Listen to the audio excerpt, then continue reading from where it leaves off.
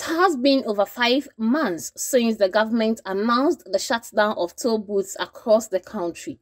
More than 800 persons, many of whom are physically challenged, have been rendered jobless since the closure of the toll booths.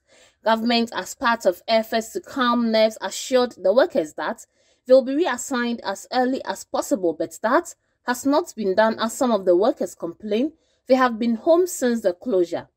The government also assured of its commitment to pay salaries of these workers until they are reassigned, but the workers say they have not received salaries since December 2021. Michael Babangida is physically challenged. He used to operate at the Aboasi toll booth in the Ashanti region. He narrates his ordeal since the shutdown of the toll booths. na ɛsɛ adwuma yi gu yɛ ɛte fie mi sɛ mema mmienu mede ɔmo nyinaa kɔma me me maame ɛnyɛ ɛnyɛ koraa.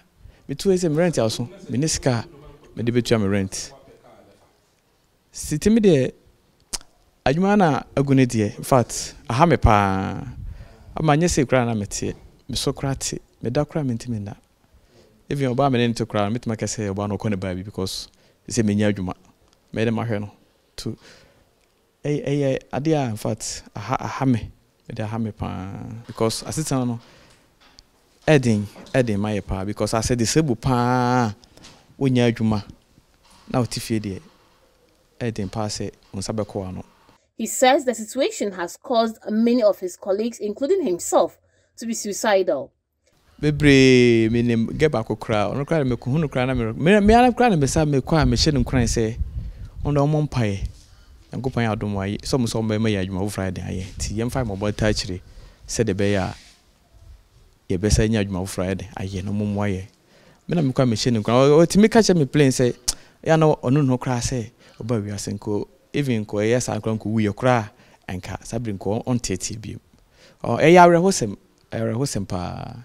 Me sɛ meka bi kyerɛ me ho sɛ a katama mepira yɛ yi anaa mena ayɛ sɛ na nka mewɔ yi a saa ewiase berɛ bebrebe yi na nka memɛbrɛ nti nyame ɔdɔ no aba waba na waboa yɛ de sɛfoɔ a ɔsaa sɛ wasaa agu adwuma no.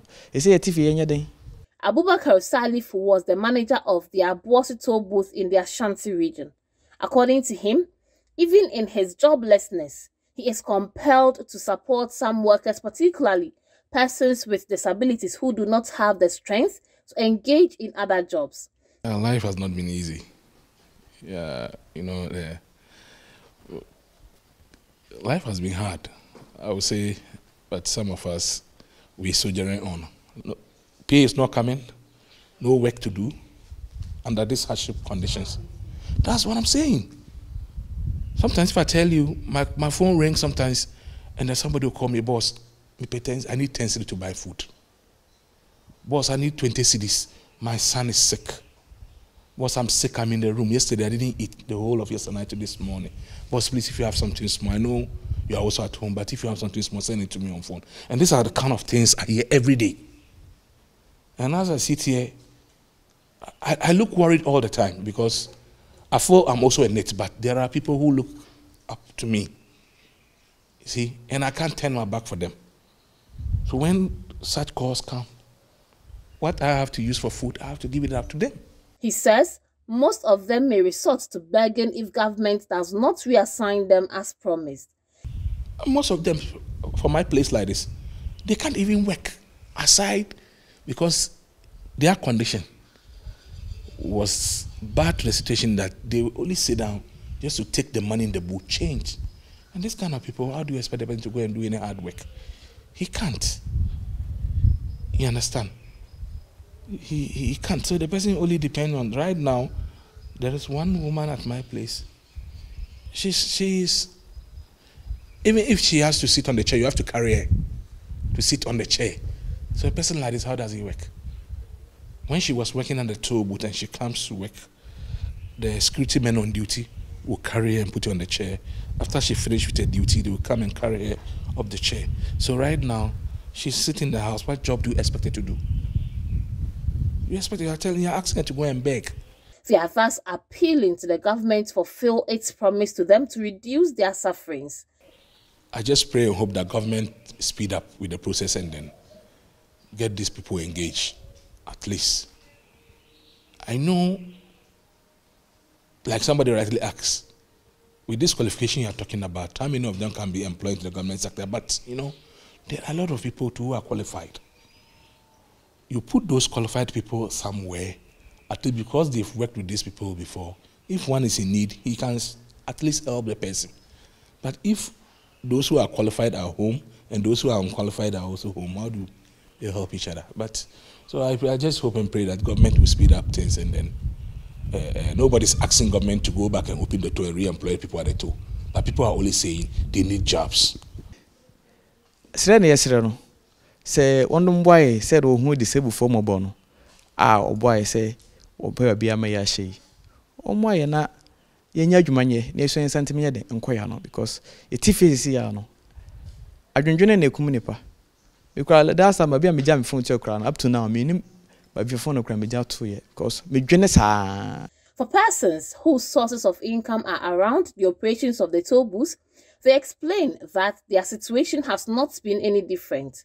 According to the manager of a bakery around the Abuasi toll booth within Kwabre East municipality of the Ashanti region, he has been forced to lay off over 40 workers due to the situation.